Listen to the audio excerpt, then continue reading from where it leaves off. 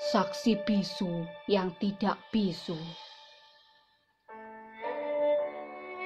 Pekat malam yang kelam, berteman bintang yang bersajak dengan rembulan.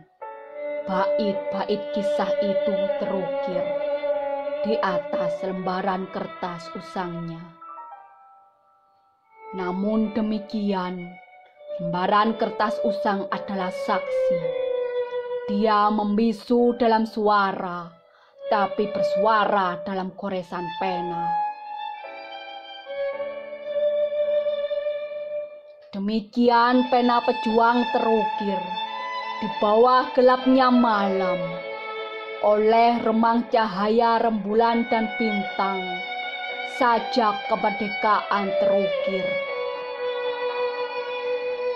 oleh tinta megah sang proklamator dengan bait-bait semangat perjuangan melalui sebuah asa bernama impian tentang merdekanya sebuah bangsa akan besarnya harap berkembangnya negeri.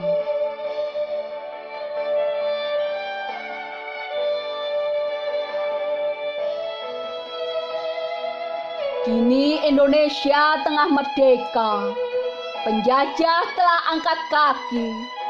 Penindasan kompeni tak lagi ada. Hanya tersisa harapan masa lalu.